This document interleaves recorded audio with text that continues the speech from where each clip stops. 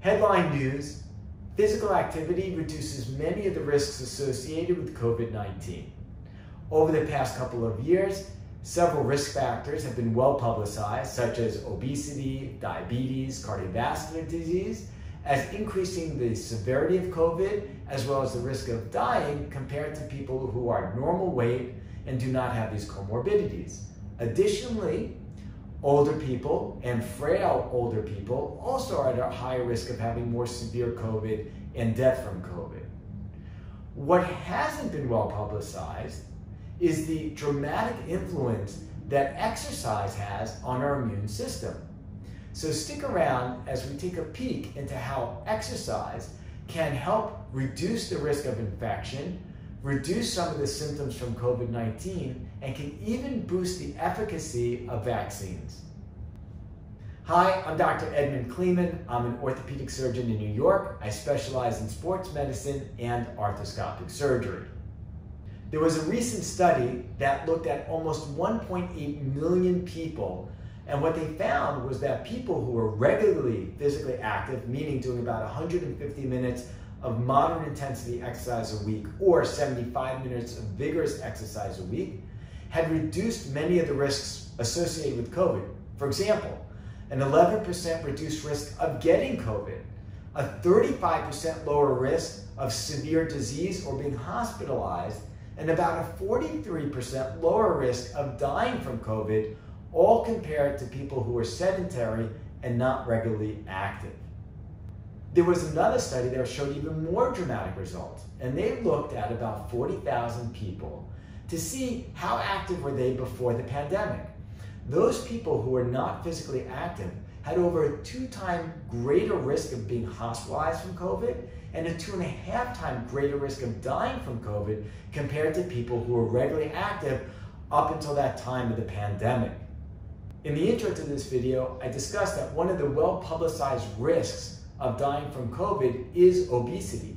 So one study of 250,000 people looked to see, well, what if obese people exercise? Would it make a difference? So what they took was a reference group, people who were normal weight and were very active.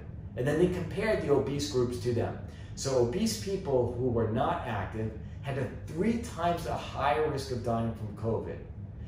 But what about people who were obese and were highly active? So those people reduced their risk of dying significantly. They were only 1.5 times likely to die. So we went from 3x risk down to 1.5 risk by increasing activity level. Cardiorespiratory fitness is another important factor that can influence risks with COVID. So cardiorespiratory fitness is an objective measure of how well we can get oxygen from the atmosphere into our lungs and then to our muscles. And obviously, again, the lungs and the cardiovascular system are very important.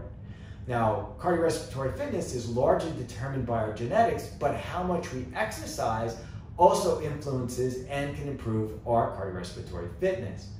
A study of about 1.5 million young adults and adolescents who were being conscripted into the Swedish military, they looked at their cardiorespiratory fitness. And what they found was those people had high levels of cardiorespiratory fitness, had reduced their risk of being hospitalized from COVID by 25%, and reduced their risk of being uh, admitted to the intensive care unit by 40%, and reduced their risk of dying by 45% compared to people who have low levels of cardiorespiratory fitness.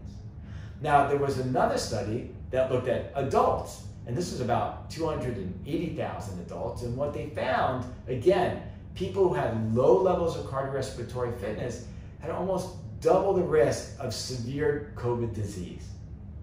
Now let's talk about exercise and vaccination. So currently, one of the most effective means of protecting people, particularly older people from getting COVID, is vaccination. So one study looked at this. They looked at the Pfizer vaccine, and within 30 minutes of getting that vaccination, Patients were placed into an exercise routine. This was an aerobic program on a stationary bike, moderate intensity for 90 minutes. And they consistently found that those people, four weeks later, had elevated antibody response, which is good. Interestingly, though, people who only exercised for 45 minutes didn't see that same elevation in antibody response. What about exercise in people with acute COVID, meaning that they have tested positive, they currently have COVID, and they're uh, at home in quarantine? So these are mild to moderate cases. These are not severe cases where someone is hospitalized. Several studies, both aerobic exercise and strength exercise, have both been able to show an improvement in COVID symptoms. So there's one study that looked at relatively younger people between the ages of 24 and 45, and they were randomized to a moderate intensity aerobic program three days a week for about 40 minutes each session. And they actually found that patients with COVID, their symptoms reduced, and they had taken blood tests and they found that their immune response and the cells from the immune system actually were boosted. So these were benefits that patients who had COVID gained from doing some exercise. Similarly, there was another study that looked at these same types of patients with COVID, and this was exercise that was strength training, not aerobic.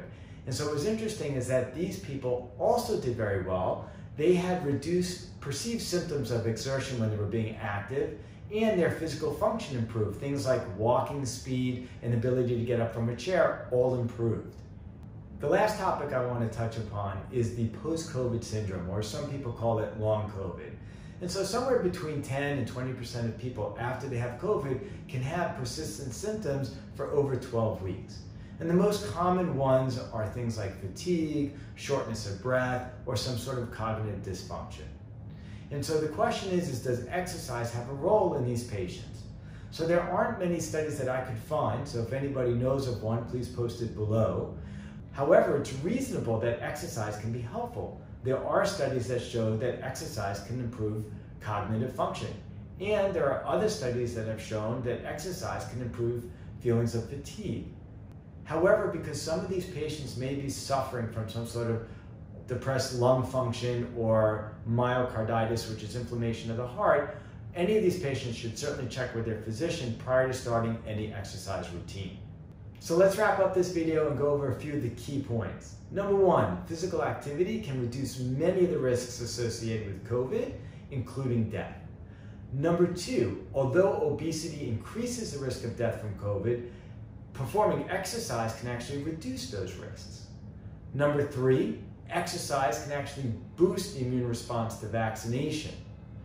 Number four, people who actually have mild to moderate cases of COVID, doing exercise can actually reduce their symptoms and improve their immune response.